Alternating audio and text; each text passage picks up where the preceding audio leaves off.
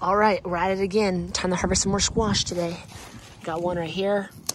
Oh yeah, look at that. And let's take it out, show you guys. These are patty pans, the best squash in the world. They're so, so good.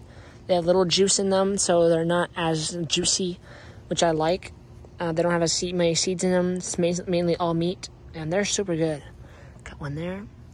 And we got one right here, needs to be taken off right now before it's too late. All right, let's take it off.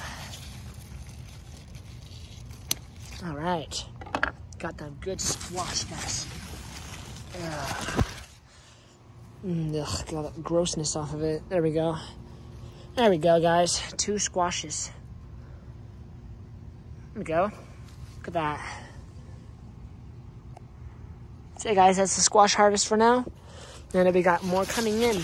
We got one right there starting up. And then we got, mm, we have a break. We have a break coming in. So. Oh, and don't forget, guys, we have another, I planted another squash. We got a butternut squash coming in. This is a butternut squash plant. It'll take about 55 days to get first squashes, but there's the plant there starting up. So yeah, guys, just to show you what I harvested. Second day of harvesting. Now we have a, like a couple week break before the next one. Hey guys, pretty cool.